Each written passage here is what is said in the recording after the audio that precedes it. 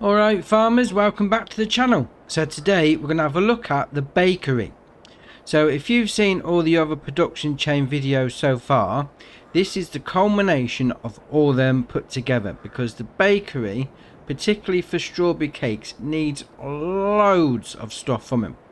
So what you're going to need to run the bakery, if you're doing cakes that is, you're going to need a sugar mill, you're going to need a grain mill, you are going to need eggs from the chickens you are going to need strawberries from your greenhouses and you are going to need butter from your dairy. So we've got all that set up here. So first off we're going to go into the bakery. So I've placed this one down just to get everything nice and close by. Obviously on Elm Creek here there is one on the base map but just for easiness of this video we've put it all next door to each other so we'll go into the production menu and we're going to start off with bread. So that's asking for two flour to one bread. So what I'm going to do, I'm going to jump in my little forklift truck here. I'm going to go load in two pallets of flour.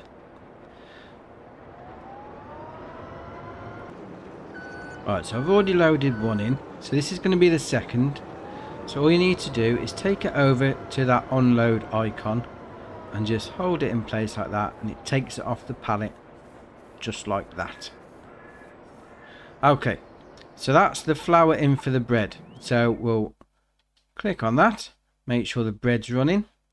So it's now going to be storing out the front. As with all the other production chains, you have got the option of storing so it puts it on pallets out the front you got selling, so it's sold directly, but you do take a 35% hit on the actual price you get at the end of it.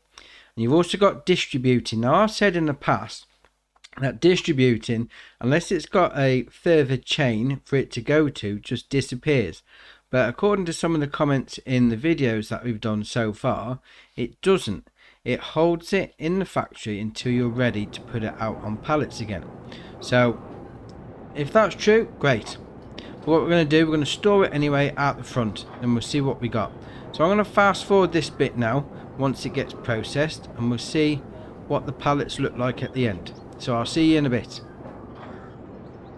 Right, so we fast forwarded one month. Because I'm playing on one month days. And we've got a pallet of bread. There we are. Ready for you to make a sandwich with. So you've got there 1,000 litres of bread and it's also got 14 litres still in the bakery. So that is excellent. Now having a look at this if we'd have sold the flour itself bearing in mind that the price fluctuates throughout the year we would have made 4,052 off those 2,000 litres that we put in.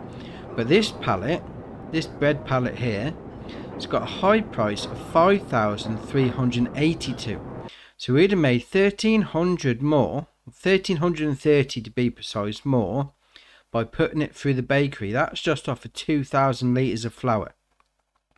Now, if we'd have sold the grain itself, I think we put oats in this, we'd have sold that for 1574. So that's even more. That's what's that like?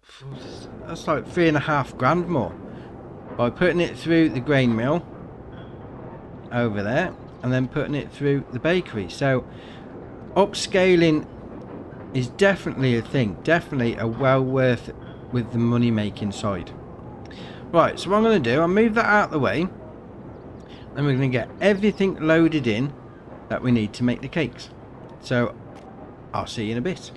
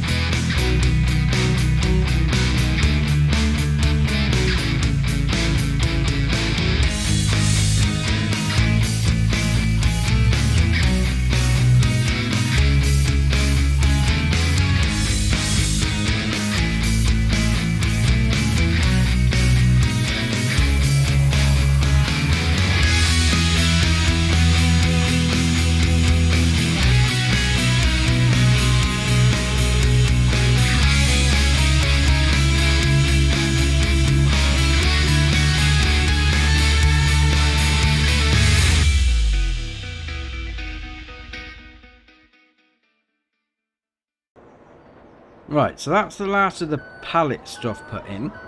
So what we're going to need to do now, just to finish off the recipe, is put in some milk. So we've got this tanker here. As the same with the pallets, all you need to do is just go over the unload point. It'll give you the prompt. Like so. So we'll start loading in the milk and then we can get cracking with making some strawberry cakes. There we are. So that's finished. So we'll back that out of the way.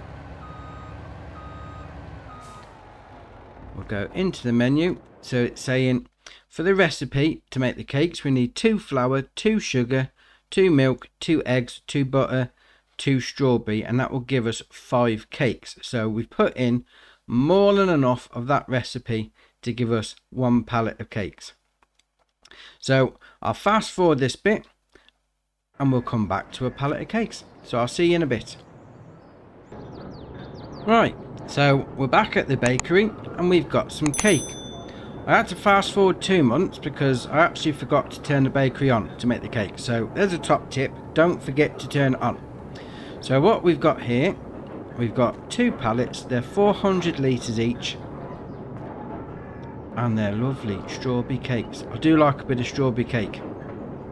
So obviously it hasn't used the full amount of the recipe that we put in or the product but I have done a bit of maths. So if we just sold the original crop that we put in the the base element of it all we'd have made 23,145 if we'd then put it through its various production chains elements we'd have made 28,096 but if we'd have sold this is based on the recipe. So if we put 2,000 each of in, and then we get 5,000 cakes out, we'd have made 53,655 from the cakes. So that is a profit of over the base crop of 30,510 and over the produced crop, shall we say, of 25,559. So like the bread, it does pay you to put it through the production chains. Obviously upscaling your, your projects is going to pay out at the end of it. Obviously it is more labour intensive, you have got more stuff to do, especially with loading pallets and maybe it'd be easier once a auto load trailer for pallets comes out as a mod. But still, it's fun doing it you know, you get cracking. That forklift truck's pretty good. The uh, the Jungheinrich one. But yeah, excellent. Nice tidy bit of profit off of that. Right, so that's the bakery, and that is the last of the production chains. So drop it in the comments below. Are you thinking of using any of them? Are you thinking of using the bakery? If you haven't already, hit the subscribe button. It's muchly appreciated. But for me, that's it for today, and I'll see you in the next one.